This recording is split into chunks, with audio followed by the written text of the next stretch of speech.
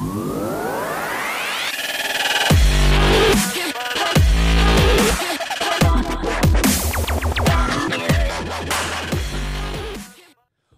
going on, guys? Welcome back to the Football Capital. I am Borche. Today I am joined with Seba and the Liverpool fan Damien on the Liverpool and Chelsea preview. Lads, how are we? Good, good, bro. You must be sta- ecstatic after a 2 0 victory to Sheffield. Picked up a W. I mean, I can't say the same for us. Big with a are back. Snorefest at Stamford Bridge. You know what I mean? Isn't But it uh, always when it's a top six match? hey, Isn't it always when we play a top yeah, I six? know. Like, We can't. We haven't scored yet uh, from open play. But that's another. That's another story. But we got um, yeah, um, who's at home? Liverpool's at home. So Liverpool versus Chelsea now, boys. The last time these two teams met, Liverpool won two 0 at home. Mane double. I think it was uh, round two. round two. Something like, Off the something top of like my that, head, off, the top of my head. if I remember correctly. um, but yeah, lads, look before before we minutes apart, or- you might be correct. Four minutes apart. Uh, look, before we go on to Liverpool, let's touch uh, a little bit on Chelsea. New manager has come in. That what's that? Eight games now without a loss. Um, what are your thoughts on Chelsea and Tu- Tuchel or Tuchel? Tuchel. Tuchel. Yeah, and I think they're um, yeah, they're starting to play like a, a decent brand of football. Like you can kind of see the style that he's implementing, and they're getting some decent results as well. So, yeah, only positive things for them. D- you know what though? Like, honestly, in my opinion, I don't really see much of a difference. Like in terms of their football, I, mean, I know it's going to take time. It's only what eight eight games in or eight games since he's he's uh, taken over. Um, but in terms of the results they've been getting, I I literally think Lampard would pro- would have probably got the same results, in my opinion. Yeah. Um, I don't know. Look, he's been look. You can't complain. He hasn't lost. Yeah, Yeah, he hasn't lost yet. So Hasn't he only copped like one goal? maybe, I, I don't know. I, believe that's correct. possibly. But um, what what, what are your thoughts on Well, him? I mean, look, he's the res- it's a results business. Um, he's get he's not losing. He drew nil nil to United, which is like as we come to expect. Um, but they're winning. They're not copping goals. What more could you ask for? Do you do you guys think? Because I, I always talk about um these records that clubs have, right? Like, Yeah. do you, do you guys think that a lot of the teams or managers are focusing more on what the record is in the actual game? Like, for ex- for example, like with Liverpool, the whole focus and uh, the media kind of jaded up a little bit. Liverpool's unbeaten run. Do you know what I mean? Like when there were 20 games unbeaten at home, there wasn't a much of a hype there when it came to 40. And then it came to 68. And then they verse, they happened to verse United, right? And it's like it was it was a 68 games when they played United around there. And the whole the whole game was literally about is United going to stop this run? About and and then to me, I thought Liverpool in that game against United were actually thinking about that record, and maybe even Klopp was a little bit thinking about let's just not lose this home record kind of thing. And then you go into the the next game at home against against uh, Burnley, and you end up losing, and then I don't know after, and even with even with Chelsea a little bit. Like, do you reckon that if he comes in, if Tuchel comes in, and now he's got what, eight games unbeaten. Is he? Because to me, it looked like against United, it's like, oh, let's just not lose. I want to keep this unbeaten run going. Are we? Are these managers I think- focusing like United? It's like we got this un, uh, unbeaten run away that we can't lose. So it's like you get games like this where Yeah, but Tuchel doesn't want to lose. Eight games is not a time to start thinking about a streaking. Yeah, but do you guys reckon that that plays a part? I don't know I don't think don't so, think man. so. I think it's just marketing. because it just really, it just like- feels it just feels like You got to that. sell the game to the people, and that's how you Yeah. sell it. But you look like the the the journalists always ask the players that question. They always give the same like stock standard answer. You know, oh, we just focus one game at a time, and I believe that. But I also believe that, like when the game's finished, that's the first thing they'll think of is oh the streak is still alive or the streak is dead. But like uh, it, it can't change your preparations for a, for a football game because the, the sport itself doesn't care how many how many wins or Yeah, losses do you- you're on in a row. do you think the players it's going to the players head like especially for Liverpool that mentality of that we don't lose at home now becomes more pressure not to not to lose this record and then you've seen it like with with Liverpool you lost that first game. Now you've lost four four home Yeah. games in a row, It's like the floodgates. which is I don't know how long that's happened. Like when the last Yeah, time that's I reckon- happened, I year. do reckon it does get to the players' heads a little bit, especially when you it's such a big record. Um, and you got them, and it's like them. It's not so much that the, they're probably thinking about it the whole game, but it's that that little brain snap that you had, maybe with Al- Alisson. Not so much because against Man City, you're not always expected to win them games, regardless where you're playing. But then the games against like who who you got, you, you lost to like the Burnley, ga- especially Sheffield. that Burnley game. No, know, not Sheffield. Who did you sorry. lose to after that? Southampton who lost to. But was Yeah. it, that was away though. I think that was before that though. But in them games, To they Brighton. Everton, like even against games like Everton, you know what I mean? Like, are we are we focusing too much on oh that Everton hasn't won here in in so long in 21 years haven't been in Liverpool at Anfield. Liverpool's uh, like home record, like I don't know. To me, I think a lot of these teams are starting to focus more on records than um actually playing the game game of football. It's in my opinion, Yeah, but know, man. we we've too sure. That's what I reckon. I reckon like But for it's him, like it's eight games. You reckon they're at that point? No, no, but like- games. As a manager, you don't want to come in and lose your first game. Like if he comes in against Wolves, that first game against Wolves where he got nil all, like as a as a manager going into this game, it's like oh, just don't lose. Because no manager, wa- you want to win. no manager wants to come in and be like oh, oh, we lost the first game. Do you know what I mean? Yeah, but what, what's a nil-nil draw do for a, for a debuting manager? Nothing. Yeah, Like, especially against Wolves, who don't have their best player, who's who's been out for the whole season. Yeah. I don't. know. I, I reckon. I reckon these I don't- I don't- results I don't buy might play a bit of a part. But um, look, like you said, it, it, it is about results. Um, Chelsea slowly climbing up the table. I think only through is it three points off the off fourth. off fourth was it? They're not far. They, they've closed the gap. You know what I mean? Compared to where they were, I think they were nine. They were yeah, nine they were starting to slide. Hold on, let me get to this table. Yeah, they were starting to slip away. One point. One point behind. There you go. Ah, yeah, There you go. One and point. it's West Ham who's just gonna slip up. Well, they got You know yeah. West? Ham have leads this weekend, but there you go. Like Liverpool, Liverpool's one point behind behind Chelsea, and um, It's a big game. three points puts them back into the top four. But you look at you look at like one one point difference. Look at look at the last five games. The form is just complete opposite. It's incredible. Yeah, and that's where we yeah that that's where the problems lie for Liverpool. And I think some of them are they all home games, home one away. See away game to Leicester, they're that three one. The big big defeats as well, not just you know City that four one as well. But look, Liverpool, you reckon that win now kind of they have to push on from this? I mean, I know it was only Sheffield United, but regardless what injuries you have, you should be beating them. Oh. Yeah, that's probably. No, true, really, man. no, really- No, no, Yeah, you really. with, with the team, with the team that, If you're a big club, you got and to be- be winning those games. but Sheffield had like seven players I, out nah, as well. but I just I like okay, I scoffed because I was thinking like you should win that game hundred percent, but we didn't. but we didn't, yeah. yeah, so like yeah, yeah, of course, but we should. we're not meant to. But we're not the best team in England, Oh well, we can't beat the best teams or the worst teams. Yes. couple weeks. and we're somehow we're still in that spot second. But anyways, um, what are you, what are your thoughts, man? Has this now? Did you say? Did you see much in the Leipzig game and the Sheffield United game to say, you know what, against Chelsea, you know we might have the number, and it's at home, and you don't want to be losing all, five games in a row at home as well.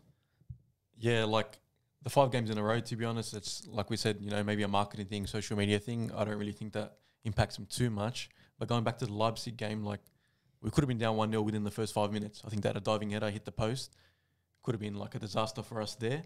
Um, but the win in the Premier League, like, yeah, maybe a bit of a confidence booster, um, which will help the side.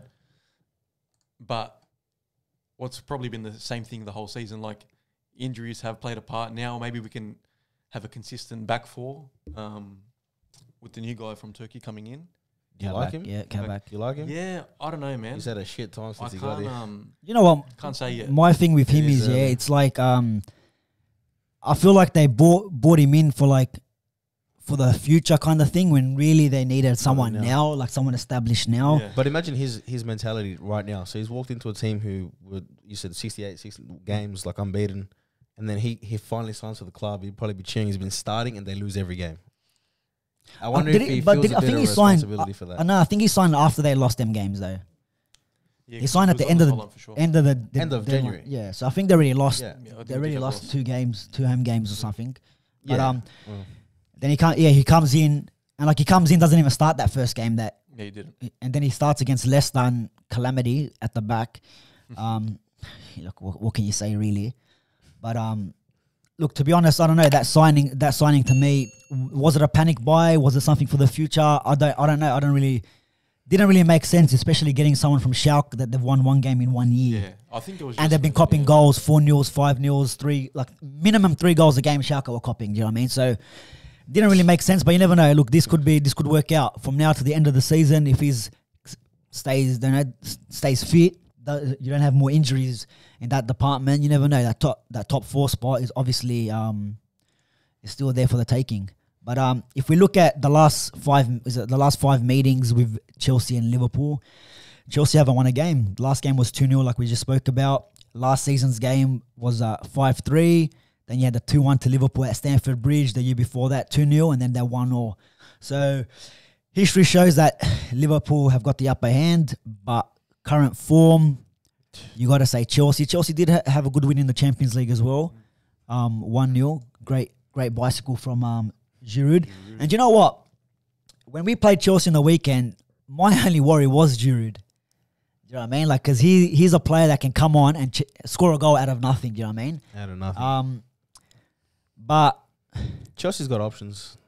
Like do you reckon? Do you reckon he's he, he's using the his subs right and the way he's filling in the team? Like against United, for me, Werner should should have started because the spaces that he was like he would have got, Yeah. especially with United playing that high line, literally like Harry Maguire was like making runs almost outside their, their box. That's how much space and time that we had. And with Werner there, and we've seen we've seen when he was in Germany the runs that he makes, and we've seen that in the Premier League as well. And I don't think maybe if he was on the on the opposite side from um, Wan-Bissaka, maybe he can get him behind, especially uh, up against Maguire and Lindelof. So like, and some of the substitutions that he made, I wasn't. I think he kind of played a little bit safe. That's what I mean about Yeah. we go into the last 15 minutes and like don't lose this one. Yeah.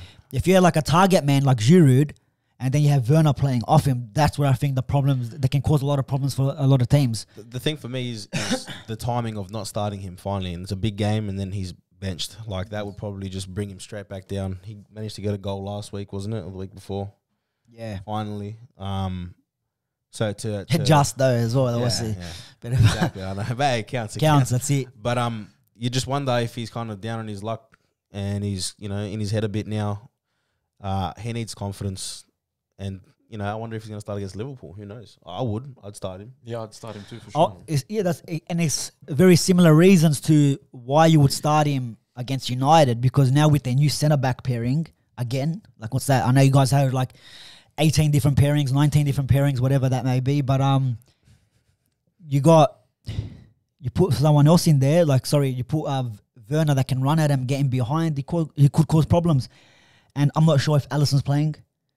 I don't I'm think not. he will. you don't. Yeah. So again, But he didn't travel, right? He had to stay in the country because he wasn't allowed to go. Well, yeah, he wasn't allowed to go out. the funeral, no. yeah. I think he'll play then. To be honest with you. Yeah, He didn't play depends, last game. yeah, I mean, depends. Adrian but it didn't was have much to fresh. do, It was- but it was just happened. You know what I mean? Now he's got a bit of time, and and he'd want to kind of get his life back going and move on. So I think yeah. you reckon he'll play? You're, is that what you're saying? I'll say he'll play. Yeah, I don't Any- think he will, man. Don't think so. No. I don't think so. No. Yeah, fair enough. but um, yeah. Look, that that would be a big loss. I mean, Alisson, when Yeah. even though he's, he hasn't had the best of times, I think we all know what kind of keeper he is, anyways. Still want him in goals for sure. For sure. For Liverpool, how are you winning this game? What? And obviously, your front three need to be there, need to show up. But Mm. Man, for us, like, even over the past few years, we've always have a habit of like beating the bigger teams. So it wouldn't surprise me if we turn up and do them by three. You know, it wouldn't surprise me at all. Um, I think, yeah, obviously the front three need to turn up, but I reckon if we win the game in the midfield, um, yeah, that's how we'll win the game. who starts in your midfield now? Is a, is another question because like you got players coming back.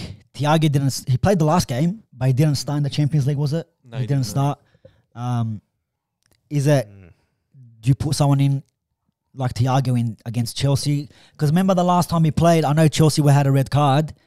Um, and then he came on at, in second half and made the world record passes or forty something passes. And, uh, Grant, give him the thumbs Bro, he- no, he did. I think he got the record or some record that in ha- in 45 minutes he made the most passes. Um, do you, are you guys looking you reckon to start him and maybe Yeah, I I'd don't know, him, I- man, I'd start him.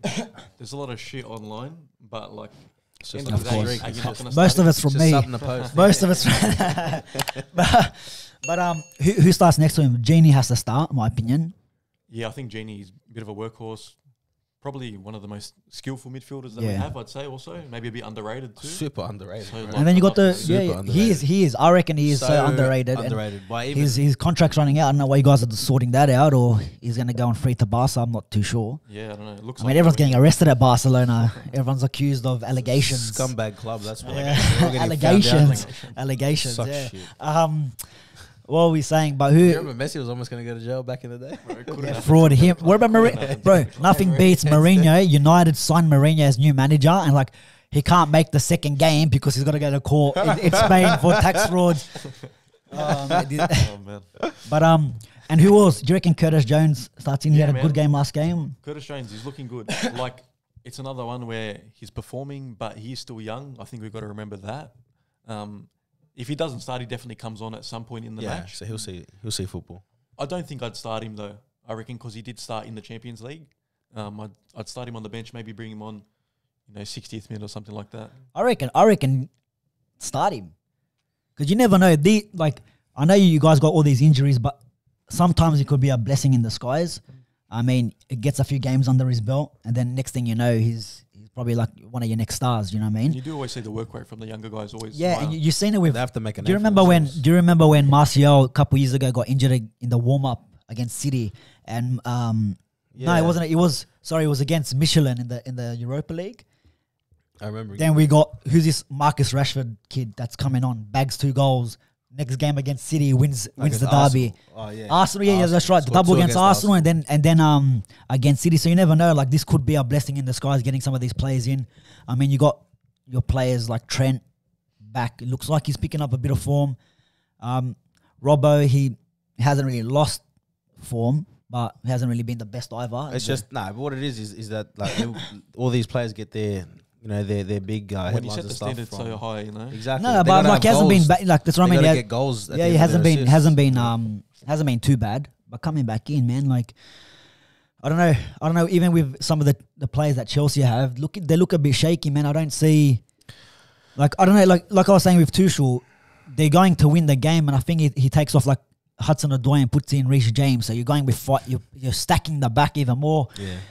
And um, I don't know. I, I reckon I reckon Chelsea might struggle in this game, especially if that front three is on, because on their day, it's just it's just too. And you've seen it, like you've seen it, like um, uh, in against that Sheffield game. It's like who do we pick up? All right, we'll, we'll stack players on Mane, we'll stack players on Salah, but then Firmino gets or a deflection, Yeah. own goal, whatever. But he's there where he needs to be. He frees up your other Yeah, players. they've Like, been there, uh, but it's kind of been that year where they just haven't clicked. yeah. The 50-50 chances just haven't gone our way. So It's they're not on the same be- wavelength. That's what it is. This is the connection that's not not quite quite going. I thought they were the best front three in the world. With the best man, couldn't the Best best manager, of any sport ever. gridiron, tennis. Chakon Shala. Um, Um, yeah, like, like- I think Chelsea, like if I was the manager, I'd be looking to use the players I have in the best way possible. So like you look at Giroud, for instance, and he played every World Cup game, didn't score a goal, had an amazing key tournament. player, key player, Key player, hundred 100%. But and they should use him the way that he plays for France, and kind of like uh, Werner, how Griezmann plays with Yeah, with yeah. Giroud, and, Yeah. and that could get some results. That could be something dangerous. Have and it takes the, the pressure. Like Giroud getting more of the ball will take off the pressure from Werner. You know, and because And also then you leave- vision. Like Then can you leave players like depends if um, Kai Havertz is playing, and if you got uh, Yeah. Ziyech maybe on one side or even Pulisic, leaves them free. And Bro, there's so many options that they could use. I, you know what? Actually looking at it's crazy. yeah, It's actually looking at some of these players, like Bro, player for player, kind of looks pretty even. They got one of the strongest teams in the Premier League, like on paper, hundred percent. Even the defense to me, like they've been quite good. Like you know, like I don't rate Zouma, but he's had a good year. He can be good. Yeah. Rudiger, Rudiger's all right. Like he, you know, they they're changing their. Well, they the got a lot of options in the left and right backs as well. Like they got two starters on each side, really. yeah, You know, so the potential's there, and I feel like they could pick and choose a team for every single team in the Premier League, including Liverpool, including even Man City. I just feel like they don't have the belief. There's something missing from them, and you know what? That's something that Liverpool could capitalize on. Like take it to them. I don't know, man. A lot of signings for Chelsea, but it's kind of like a FIFA team, you know. Yeah, yeah. just pluck players from here there, but Manager mode. Yeah. they don't have that green line chemistry, you know. It's all it's all red, man. but um, yeah. Look, that's. But then you know, you really, if you look at player by player, there's not much of a difference. Like, obviously, the front three is a lot better, but then you then you see, all right, we know what Havertz can do, we know what Werner can do. If they choose to to pick this game as their moment to to say, you know what, we're gonna take this top four. And we're running with it, you know. We're, we're not we're not looking back, especially with the, the form they're in, like we already said. Um, you know, three wins, two draws in the last five. You know, not not too bad at all. They haven't lost in that was uh, eight games, like we already mentioned. Um, I don't know. Is there going to be a midfield battle? Is there going to be is it going to be all about the players up front? To be honest, I think Liverpool's backlines, even with their injuries, I think they're a bit stronger. My, I don't know, because I know Tuchel always changes it up. You Reece James, you got um, Christensen, Alon- Alonso's come back in now. You know, he rates him. But one thing that Tuchel doesn't got is Neymar and, and Mbappe. That's the, that's the thing that uh, at PSG that I think he re- really relied on, and um, he doesn't got players like Verratti in the in, in the midfield. Yeah, but he's got Kante. Yeah, but I think Kante's lost his legs a little bit this season, a little bit, Maybe. Especially the start of the season against United. I think he was he did decent, but he hasn't he hasn't had that consistency this year. Um, who else who else are they going? to Kovacic. Then you got Jorginho, as well. Sometimes he's got so many players. he's bro. got so many Got players, but yeah, roster. It's crazy. yeah. I don't. This game can go either way.